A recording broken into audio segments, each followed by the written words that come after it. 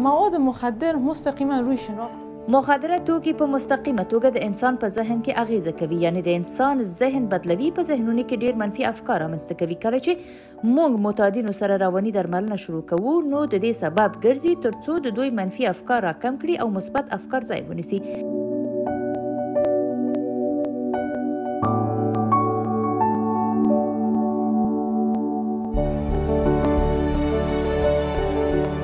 در اینو هم انگیزه بسیار خوب تاثیر گذار هست